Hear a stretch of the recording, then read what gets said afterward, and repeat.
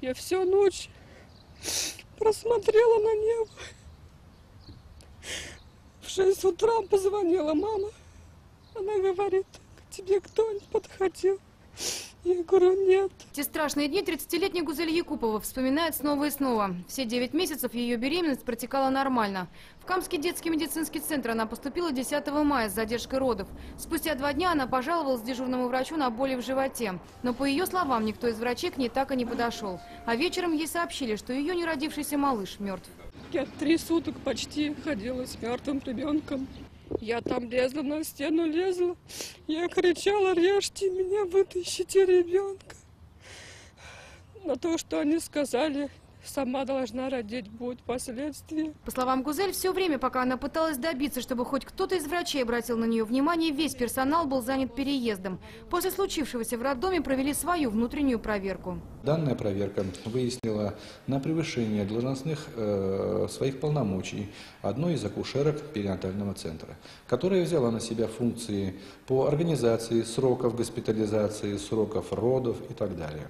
На данный момент дан, этот сотрудник отстранен э, от занимаемой должности и решается вопрос о ее последующем увольнении. Это далеко не первая трагедия в Камском детском медицинском центре набережных Челнов. 17 февраля, не успев родиться, умерла дочка Познышевых. Как и в случае с Гузель, беременность, по словам убитого горем отца, протекала без осложнений.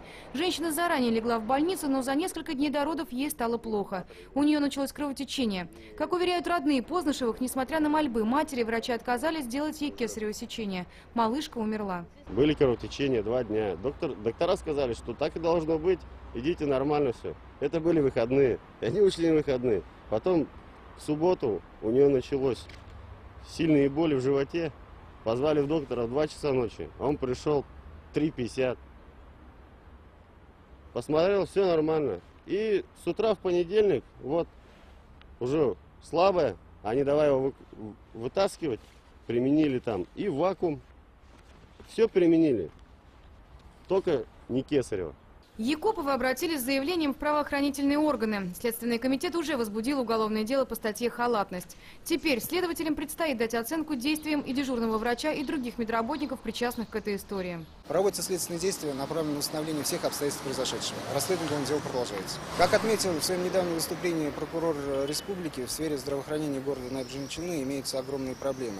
Все мы помним историю, когда в одном из родильных домов были перепутаны младенцы, и недавний случай служит тому подтверждением. В настоящее время проводится судебно-медицинская экспертиза. По ее результатам с уверенностью можно будет сказать, что именно стало причиной смерти малыша.